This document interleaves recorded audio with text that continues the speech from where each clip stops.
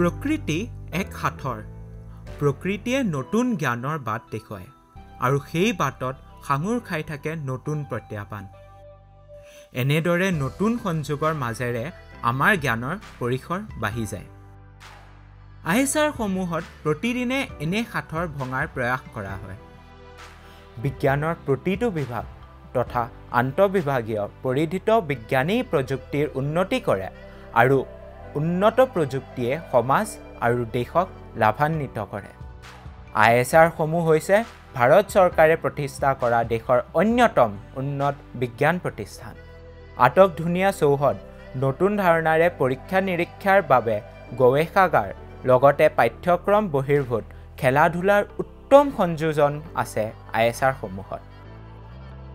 বিজ্ঞানে যদি তোমাক অনুপ্ৰাণিত কৰে তেনে তুমি তোমাৰ বিজ্ঞান যাত্ৰা আই এছ আৰ লগত আৰম্ভ কৰাৰ সিদ্ধান্ত কৰা।